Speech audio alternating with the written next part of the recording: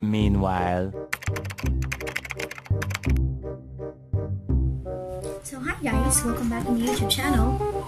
Ano ba? Nag-vlog ako eh. Oo, pauwi na tayo. Pauwi na ba tayo? May sinusubukan kasi ako. Nasaan ang aking bread at saka naliligo ng tao?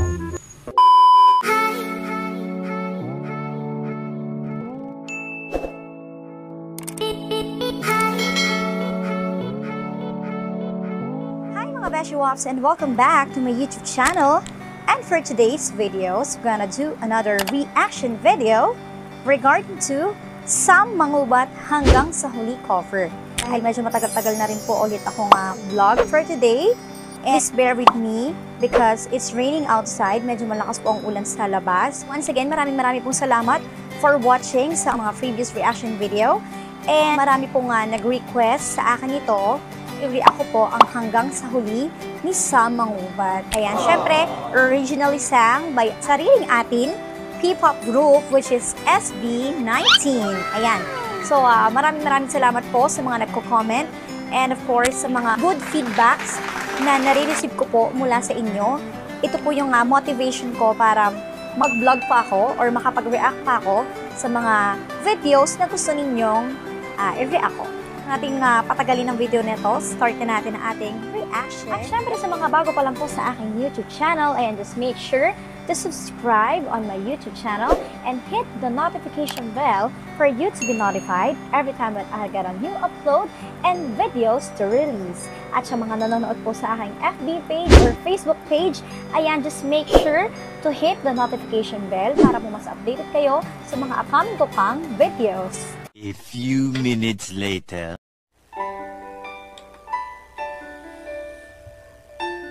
Alright. Hmm.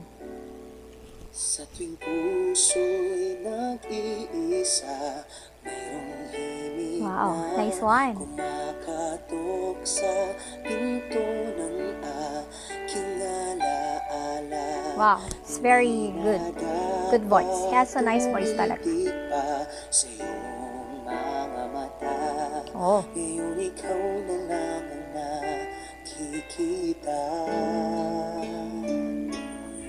Yeah, I must say na talagang sa Mangubat has really have a nice voice. Hindi ko may kakaila na naging finalist talaga siya ng Tawag ng Tanghalan. Medyo may kakaibang ah, flavor yung kanyang um, cover.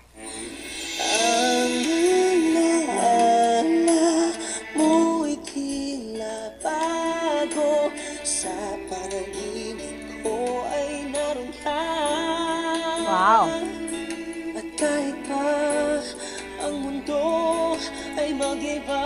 Oh, Ako'y laging nandirito Di man ako para sa'yo. Puso'y di magbabago Walang iba, walang iba. Wala nang hahanapin pa. Yes. Ibig ko'y sa'yo Sa'yo hanggang sa So, I must say na very soulful yung kanyang ah, way ng pagkakakanta. And I know na talagang si Sam Mangubat is um, is more on the R&B side of the music. So, dun talaga lumalabas yung pagiging singer, singer-songwriter na talagang nandun yung puso sa pagkanta and nandun nakikita mo sa kanya yung passion. Yan. Kasi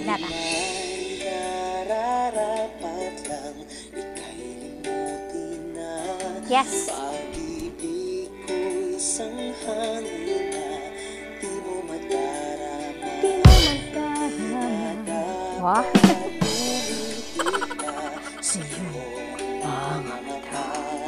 Grabe yung low notes talaga niya, no? Sa isang ah, male singer, sobrang ang baba nun eh. Parang sayad na sayad.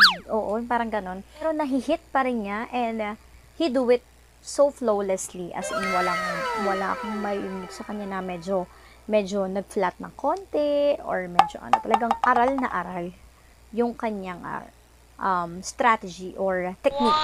Aral na aral yung technique.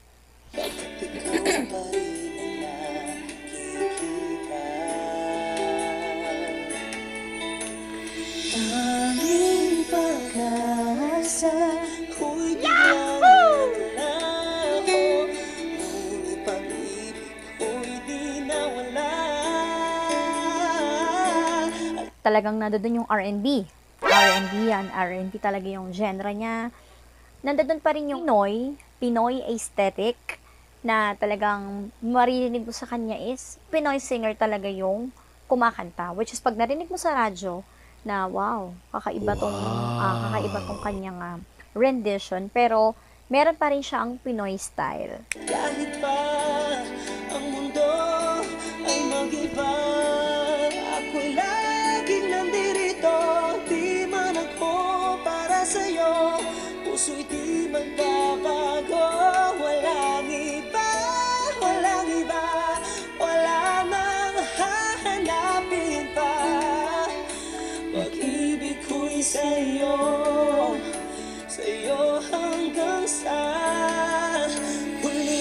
nakaka ano talaga ng puso. Yung parang sobrang heartbroken na nakaka nakakatagos na tagos sa puso yung ah, lyrics talaga ng kanta.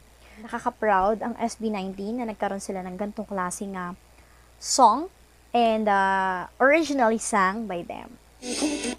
Nagtagpo, tayong dalawa'y para sa isa't isa.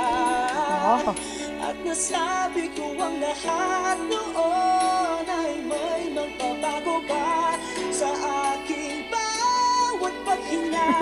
Dalangin makapiling ka.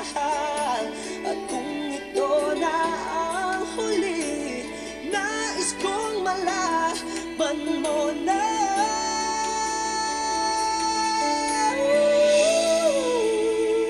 Yes. Mahal kita. Yes, ang galing niya dun sa part na yon yung talagang napaka-prolong, ano, breathing, talagang aral na aral. I must say na talagang deserve niya na mapasok siya sa tawag ng tanghalan kasi talagang sobrang nakaka-develop talaga ng singing skills yun eh. As, as a singer, ayan, like me, in a band, in a band, ayan, band singer po ako. So, talagang eh, pag everyday kang halos kumakanta, talagang dun mo na honed or dun mo na develop yung iyong skill. And uh, lahat ng mga pagkakamali or something ano, yan yan eh parang uh, stepping stone mo lang para lalong mo mapaganda ang iyong uh, singing style or ang iyong pagkanta. Mahal kita Very soulful talaga siya kumanta. Mahal kita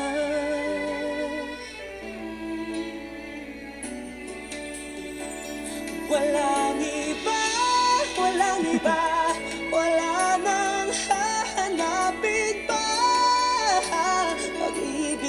sa'yo Sa'yo hanggang sa Yes.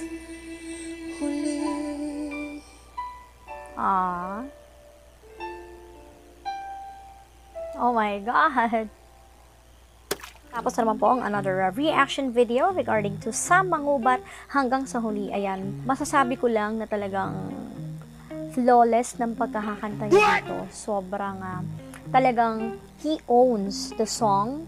Super matinis eh. Matinis kasi yung, ah, yung timbre ng boses niya as a male singer nga, bibihira yung may mga gantong klaseng boses kasi kalimitan sa mga boses ng lalaki, lalo na kung hindi totally uh, beretero, is laging um, nasa bass, on the bass side. Pero siya talagang sobrang hit na hit niya yung part na yon mga runs, sobrang ang galing, wala akong masabi. Kaya he deserves talaga na maging isa sa mga outstanding male singer here in our country, which is the Philippines. Ayan, so syempre, ayan, so um, dito na po nagtatapos ang aking uh, reaction video regarding to Sam Pangubat hanggang sa huli.